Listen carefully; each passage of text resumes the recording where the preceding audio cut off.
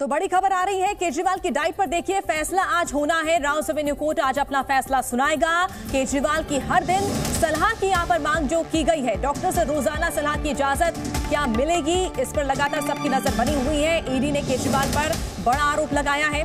Jail में आलू पूड़ी आम खा रहे केजरीवाल, ये ईडी की तरफ़ से बताया गया।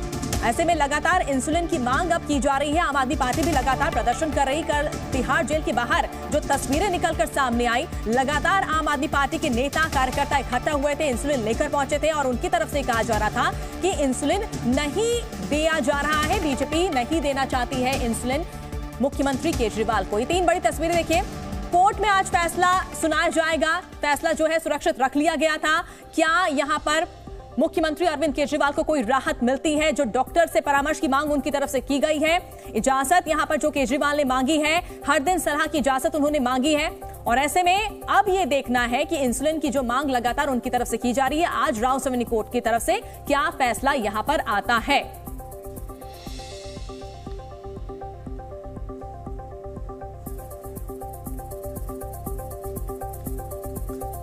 और चलिए हम आपको बताते हैं कि केजरीवाल की सेहत को लेकर आम आदमी पार्टी और तिहाड़ प्रशासन का क्या कुछ दावा है। आम आदमी पार्टी का दावा है कि शुगर लेवल जो है 300 पार है। इंसुलिन से कंट्रोल होगा शुगर लेवल और इंसुलिन देने से इनकार क्यों किया जा रहा है? केजरीवाल को 22 साल से शुगर है। आम आदमी पार्टी लगातार ये कह रही है, बीजेपी के निर्देश पर क्रूरता हो रही है। केजरीवाल की हत्या की साजिश की जा रही है। ये तमाम बातें बड़े आरोप आम आदमी पार्टी लगातार लगा रही है। तो वही तिहाड़ का क्या दावा है? तिहाड़ जेल प्रशासन की तरफ़ से क्या किया जा रहा है? एम्स ने केजरीवाल को सलाह दी है। चिंता की कोई बात नहीं है। ये कहा जा रहा है दवाएँ जारी रखने की सलाह दी गई है। रोज़ाना समीक्षा होगी ये भी बताया गया है केजरीवाल ने इंसुलिन की बात नहीं की। इंसुलिन देने का कोई सुझाव नहीं। ये तिहाड़ जेल की तरफ़ से कहा गया है यानी उनकी स्थिति नॉर्मल है उनकी सिचुएशन बिल्कुल ही बेहतर है उन्हें इंसुलिन की ज़रूरत नहीं है।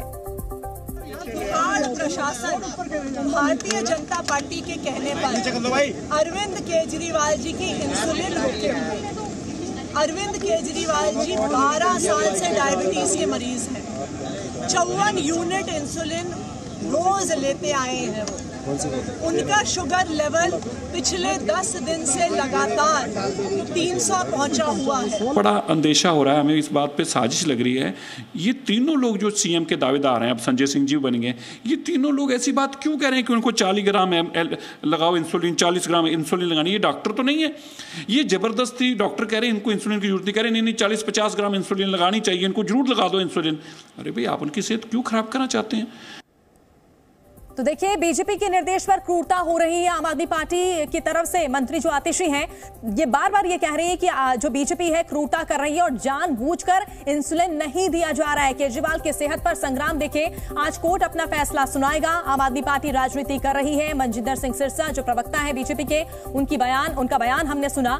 लेकिन जो जेल अथॉरिटी है, जेल प्रशासन की तरफ़ से ये कहा जा रहा है कि उनकी लगातार डॉक्टरों से जाँच करवाई जा रही है, सलाह उन्हें दिलाई जा रही है और डॉक्टरों का ये कहना है कि उनकी सेहत बिल्कुल ठीक है, उन्हें इंसुलिन की ज़रूरत नहीं है, उनका शुगर लेवल बिल्कुल ठीक है। हालाँकि आम आदमी पार्टी का अलग ही यहाँ पर बातें कही जा रही है, उनकी तरफ़ से दलील दी जा रही है कि इतने सालों से अरविंद केजरीवाल जो है लगातार शुगर के पेशेंट रहे हैं, उन्हें इंसुलिन लगातार मिलती रही है, हर दिन वो इंसुलिन लेते रहे हैं और ऐसे में उन्हें बीजेपी जानबूझकर इंसुलिन नहीं देना चाहती है, उनकी हत्या की साजिश रची जा रही है जेल में। तो वहीं दिल्ली सरकार में मंत्री सौरभ भारद्वाज ने कल प्रेस कॉन्फ्रेंस कर आरोप लगाया कि केजरीवाल की हत्या की साजिश की जा रही है। भारतीय जनता पार्टी की केंद्र सरकार और तिहाड़ जेल एडमिनिस्ट्रेशन का है, वो पक्ष क्या है? नहीं साहब, इनकी कोई शुगर नहीं बढ़ रही। नहीं, ये बिल्कुल नॉर्मल है। नहीं, हमारे पास जब डॉक्टर है तो डॉक्टर को दिखाने की क्या ज़रूरत है? इंसुलिन की ज़रूरत इन्हें है ही नहीं। जब ज़रूरत होगी हम इन्हें इंसुलिन दे देंगे, अभी इनको इंसुलिन की ज़रूरत नहीं है। ये दो पक्ष हैं। किस तरीके से चुने हुए मुख्यमंत्री की हत्या की साजिश केंद्र सरकार कर सकती है? ये कह रहे हैं, हमारे यहाँ स्पेशलिस्ट हैं डॉक्टर हैं, देख रहे हैं, अरविंद केजरीवाल जी को क्या दिक्कत है? ये मैं पत्र आपको दिखा रहा हूँ, ये कल का पत्र है। ये तिहाड़ जेल के डीजी ने कल, यानी कि 20 अप्रैल को एम्स को लिखा है और कहा है कि हमको एक डायबिटोलॉजिस्ट, एक शुगर या डायबिटीज़ के स्पेशलिस्ट को दे दिया जाए।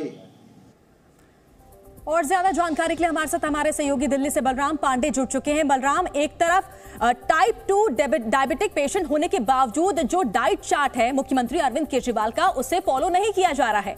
अब ये मांग की जा रही है कि इंसुलिन देना चाहिए। आम आदमी पार्टी लगातार प्रदर्शन कर रही है कि बीजेपी इंसुलिन नहीं देना चाहती। हत्या की साजिश रच रही है। आज कोर्ट का फैसला आएगा। सभी की निगाहें टिकी हुई हैं। बिल्कुल देखिए, जिस तरीके से आम आदमी पार्टी आरोप लगा रही है कि दिल्ली के मुख्यमंत्री अरविंद केजरीवाल को इंसुलिन नहीं दी जा रही है, जिसकी वजह से उनकी सेहत पर खराब असर पड़ रहा है और यही वजह है कि आपने देखा होगा कि कल तिहाड़ जेल के बाहर जो आम आदमी पार्टी के नेता थे, उन्होंने प्रोटेस्ट किया।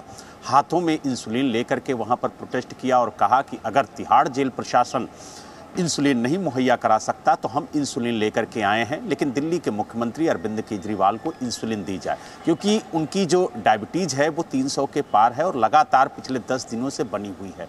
और यही वजह है कि आम आदमी पार्टी यानी अरविंद केजरीवाल की तरफ़ से एक अर्जी भी राउज रेवेन्यू कोर्ट में दाखिल की गई और उसमें ये मांग की गई कि उनकी नियमित जाँच हो और साथ ही उन्हें इंसुलिन लेने की इजाज़त तो नियमित जाँच यहाँ पर मांग की जा रही है इंसुलिन देने की मांग यहाँ पर कर रहे हैं। बलराम लगातार बने रहिए। हमारे साथ अरविंद सिंह भी जुड़ चुके हैं। अरविंद, आज देखिए राउस एवेन्यू कोर्ट में जो सुनवाई हुई थी, आज राउस एवेन्यू कोर्ट अपना फैसला सुनाएगा।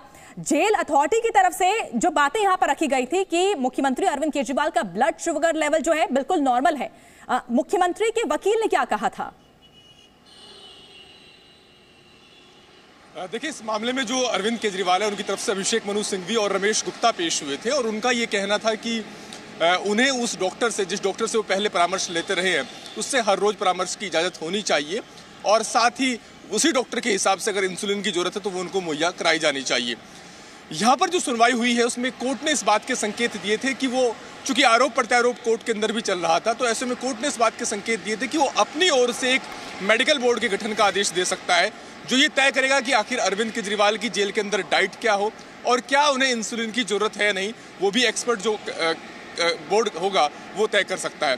तो कोर्ट ने इस बात के संकेत दिए थे, क्योंकि जेल अथॉरिटी की तरफ़ से कोर्ट में भी ये बात कही गई थी कि हमने एम्स से परामर्श लिया है। और एम्स के डॉक्टरों की भी ये राय है कि अभी अरविंद केजरीवाल को इंसुलिन लेने की ज़रूरत नहीं है और अगर वो इंसुलिन लेते हैं तो उसका गलत असर तक पड़ सकता है। वहीं दूसरी ओर जो जेल अथॉरिटी के वकील थे और ईडी की तरफ़ से जो वकील थे उनका ये आरोप था कि अरविंद केजरीवाल उस डाइट को नहीं ले रहे हैं जो कि डॉक्टरों की सलाह के मुताबिक उनको लेनी चाहिए। हालाँकि इसके ऊपर भी अरविंद केजरीवाल बिल्कुल तो डाइट चार्ट को फॉलो नहीं तो किया जा रहा है ये सामने यहाँ पर आ चुका है। अरविंद लगातार नज़र बनाकर रखे आगे भी आपसे अपडेट लेते रहेंगे। बहुत बहुत शुक्रिया फ़िलहाल आप दोनों का।